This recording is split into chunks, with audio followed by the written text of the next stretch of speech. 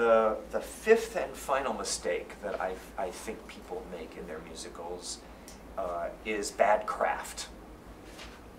And I can talk for, where am I at, 15 years on this subject?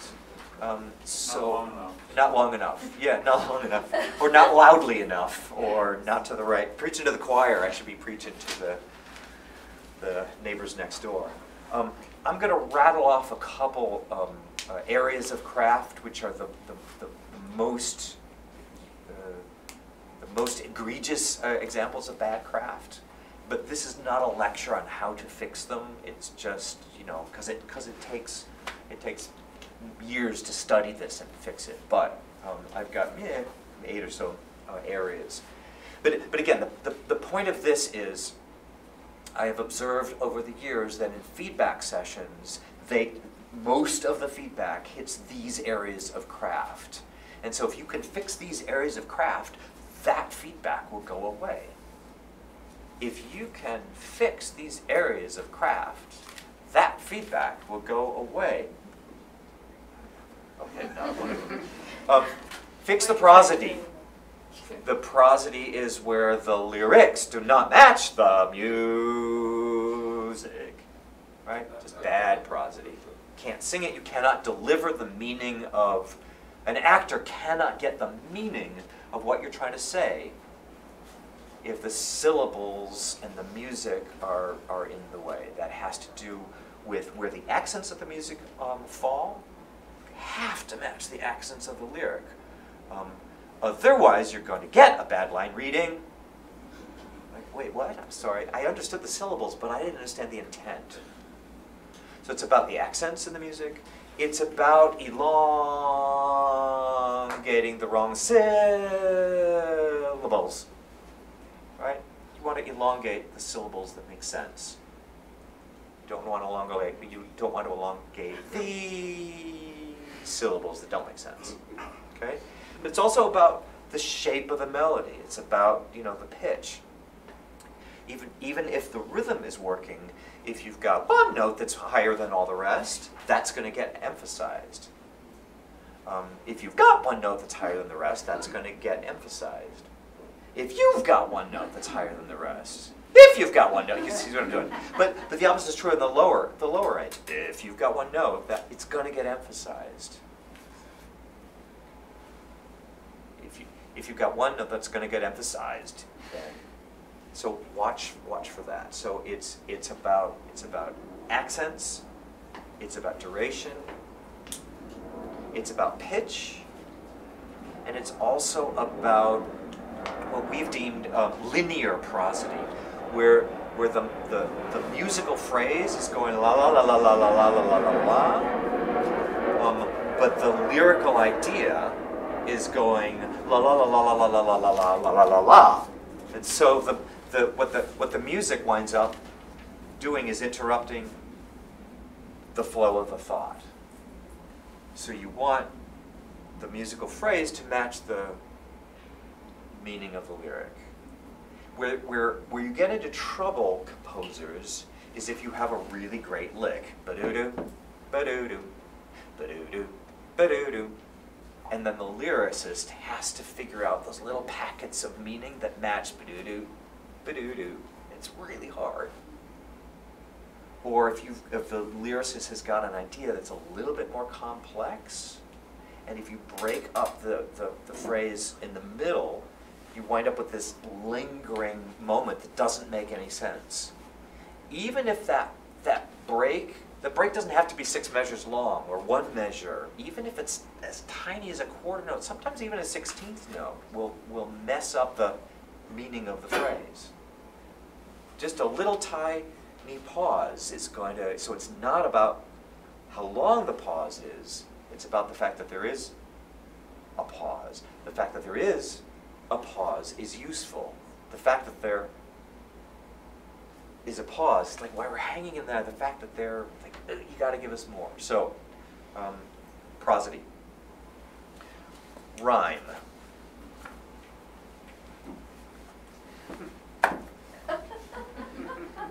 Euphony. Uh, the reason I skip over that is um, uh, Pure rhyme is your friend. Pure rhyme will organize thoughts. Pure rhyme will make your jokes funnier.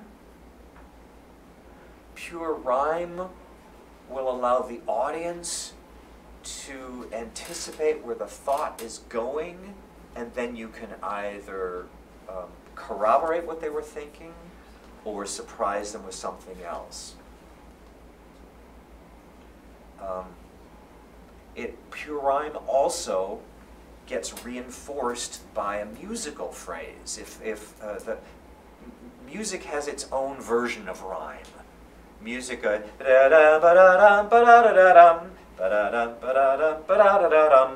right? That sort of rhymes. And you want the ba-da-da-da-dum to match ba-da-da-da-dum. If the music is going ba-da-da, ba-da-da, ba-da, um, and, and then you know, fun in the square, ba-da-da, ba-da-da, give me the soap. It's like, uh, uh, uh, they're, they have to, they, you, you just feel like, oh, something went wrong there. Fun in the square, give me the soap. That idea is yours. You can have that. Soap Square, the musical.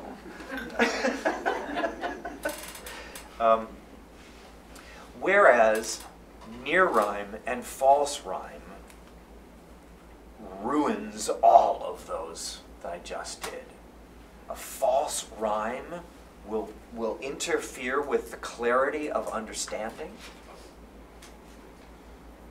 because because if you're if you're setting up the the, the phrase to rhyme and you get to the end of the phrase and it doesn't actually rhyme. Um, the, the, the, the mind is going oh, wait, I thought I was following that thought but I didn't quite. Near rhyme um, in, in fact interferes with your sense of structure. Wrap that up wrap that up. It didn't quite wrap up. Um, near rhyme, trust me on this, is not your friend in terms of jokes. If you want it to be funny, it will be funnier if it's a pure rhyme. And uh, if you're trying for a joke in which you torture a near rhyme in order to make it rhyme, and, and it's all in quotation marks, um, you know, Gilbert and Sullivan will do that kind of thing. Um, it's it's it draws attention to the lyricist. It's it's like, oh, aren't you clever, clever, you lyricist, you? The way you made those things not quite rhyme. You forced the character to mispronounce a word, and you got that joke. But that has very little to. I bring it back to the top. Is that is that is that your theme? Is that your character? What does your character want? What's your theme? Is your theme watch me make some funny jokes at the expense of pure rhyme? It's all very meta, meta, meta. Um, and, um, or, or try to slam in as many possible syllables as you can get before you get to the downbeat. Like, yeah, that's, that's very funny to an insider crowd. It's very funny as musical theater parody, but it's not very funny. Um, the other uh, things I was talking about that, that near rhyme would, would mess up? You've, you've written down, what, them down. What was the third thing I said? You said joke. Not a friend of jokes. Not for the Yes. jokes. Organized. Clarity of understanding. Here we Here's go, the City. sense of structure. Sense of structure, right? Yeah. Near rhyme, right? But what's the, what was the last one? False You didn't get to it. Is it euphony? Euphony. Well, euphony. I don't know. Right, I went, and I jumped over to euphony. Um, anyway, I thought I'd mentioned four reasons for, um, but anyway, near rhyme messes up the fourth reason. Um, uh, uh, euphony. Uh, uh, here's a bad mistake. Moving off of rhyme and into euphony. Um, How euph- spell it? Euph- I spell it uh, E U P H O N Y. A, a thing which is euphonious is pleasant to the ear. It's a, it's a, it's a pleasant sound. Um, a, th- a thing which uh, is, is not euphonious is, you know, jangly and harsh. Cacophony. Cacophony, yes, yes, It's very uneuphonious. Um, whereas, you know, the rain in Spain falls mainly on the plain, you know, has just a lovely, you know, euphony to it. So, I, I I doubt in workshops other than this, you're going to have, you know, a, a, a panelist say, I did not care for this musical because it was not euphonious to my ear. But what, what they're going to say is, I, boy, those, it was hard hearing those singers, or it was an awkward lyric, or I felt the singers were really working so hard to get the words out. But it has to do with organizing the vowels and organizing the consonants, organizing assonance and alliteration um, and consonants. Um, if, if you've got, you know, a, a, a, a lyric which is really difficult to pronounce, um, you know, there's a conch shell on the couch, um, and you have to sing that. There's a conch shell on the couch. It's like that is not euphonious. So gotta watch for that. Just the sound of the words. Um, uh, technically, um, you'll drive yourself crazy if you have to do this at, at, at every single line, and every single syllable. But if you do this at every single line and every single syllable for the next year and a half of your life, you probably will have to do less and less and less, and ultimately they're just coming out euphoniously. Or you go, hmm, let me fix that little bit. But um, you can watch, you can improve euphony by um, looking at the, the where the vowels are placed in the mouth, where the consonants are placed in the mouth. If you've got a lot of forward and backward and forward and backward, it's not very euphonious. If you've got a lot of ooh, do, blue kind of sounds, but they're mixed in with ooh, ee, ha, ee, ho, you, it's not as euphonious. Same with the consonants. If you're if you're going between you know gutturals and plosives, you're going between you know things like mm back there and p's and k's. It's a, a mixture of all of them. Um, that's just a technical place to start. But think like a singer.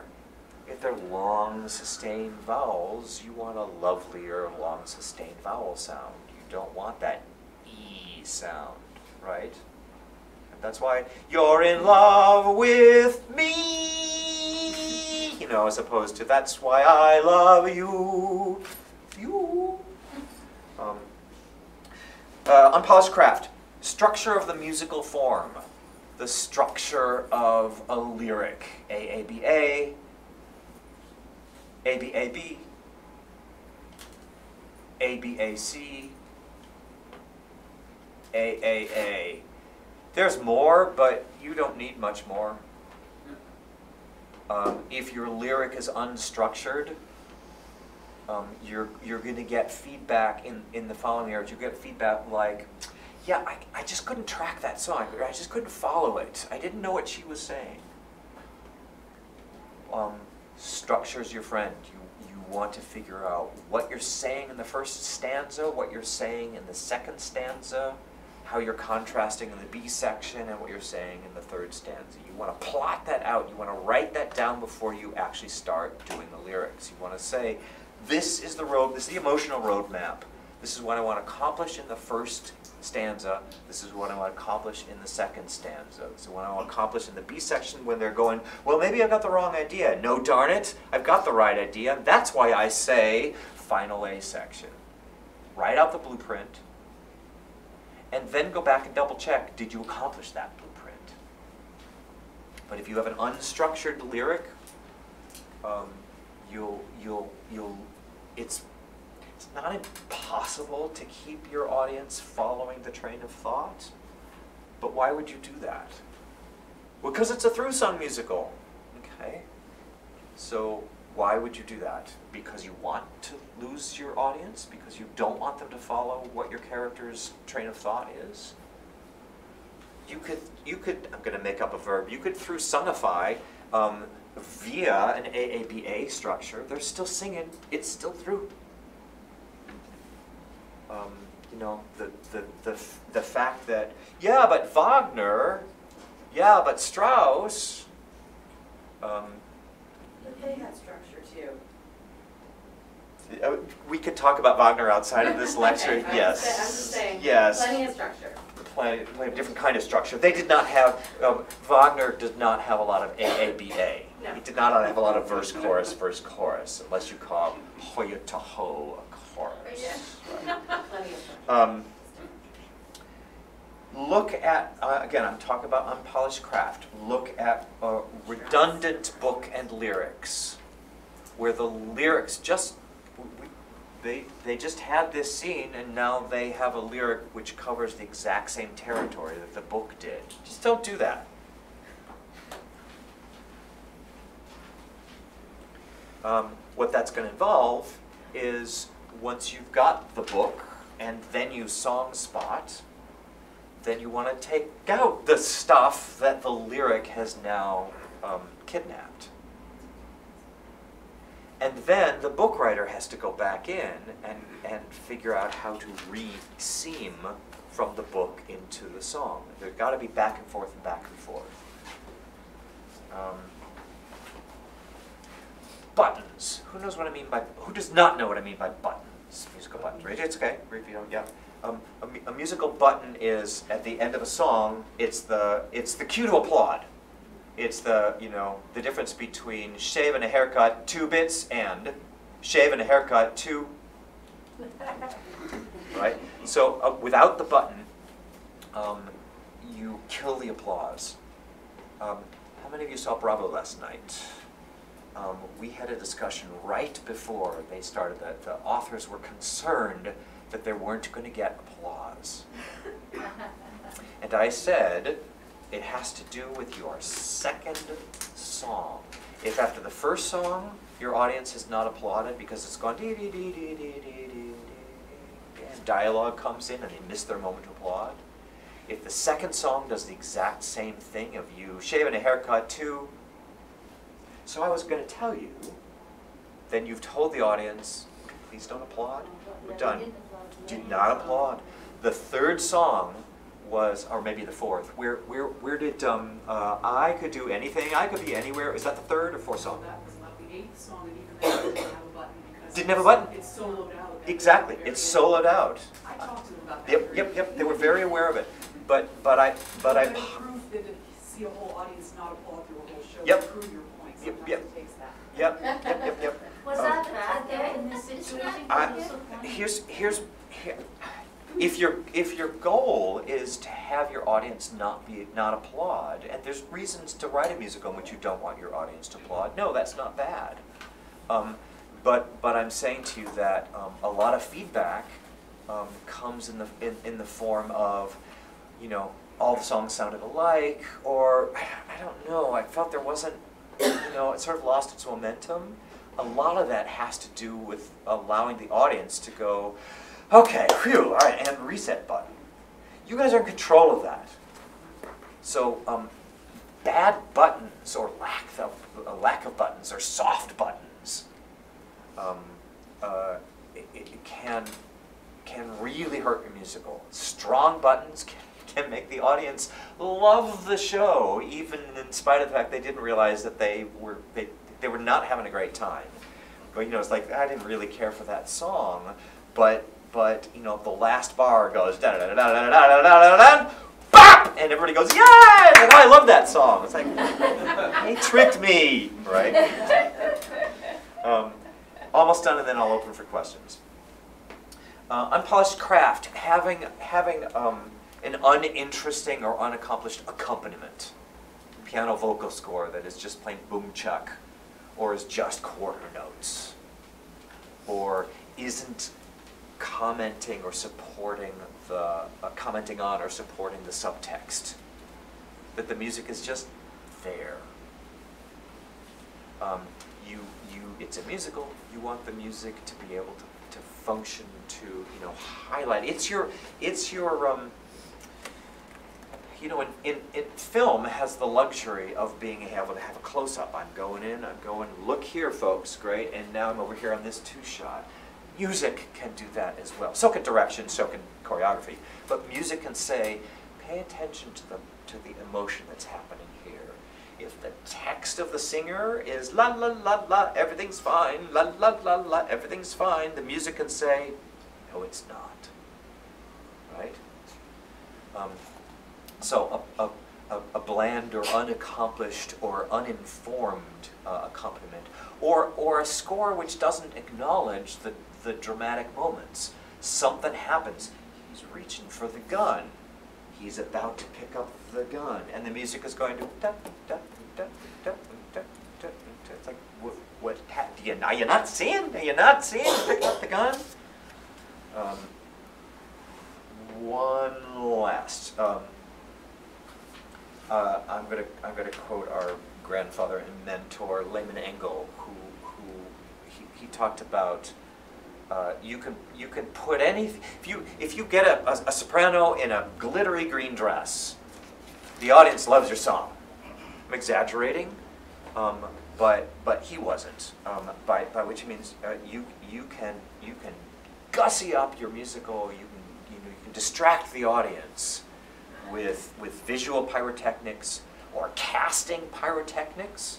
Um, we have a lot of issues in in this very workshop where we feel like if we bring a fantastic actor who's you know your your your song isn't really working but an actor makes amazing choices and you know there's a funny character does these you know these voices and and at the end of it the audience goes that was wonderful that was great and the author goes see wasn't that funny? Um, whereas if we bring in an actor who just kind of sings it and doesn't gussy it up doesn't put on the green sequin dress and the audience just kind of sits there like oh does that song not work so beware of the beware of the green dress. Beware of the green sequin dress. Beware of, of um, you know, we'll we'll fix that with choreography, or the arrangement is gonna is gonna save the day. Um, or no no what you're missing is the spectacular scenery. Or I haven't quite got this character down, but let's get a great actor and we'll fix it there. Um, so, so all of these combined, um, drawing to the conclusion here, um, are make sure before you send your musical out that it's ready. Because if it's misfiring on any of these five areas, they're going to know it, they're going to peg it, they're going to smell it, and they're going to say it's not ready for me. Um, uh, you know, the craft wasn't, it just wasn't good enough, or the demographic was all over the place. I don't know, I don't know what the audience for this show is. Um, or, yeah, I like the songs, but they, I, they, I wouldn't know how to direct them. They're not, they're not active. Um, or, so what are you trying to say with this piece? Um, that feedback will come back in the, in the, in the form of, so, so let me ask you a question. Why did you write this piece? What are you, what are you after? Like, ooh, that's probably about the worst thing you want to hear. Um, or uh, you'll, you'll hear, whose, whose story is this? You know, is it, is it the son? Is it the mother? If they're asking that kind of question, it's because your main character's motivation and need and want isn't strong enough. So, all of these areas, but more important than the rest, make sure your main character's desire and need and want is strong, and that you have you you know why you're writing the show, and your thesis is strong and clear. All right. Thank you for your time, and now I'm open up for questions. Yeah. Go ahead, tepid applause.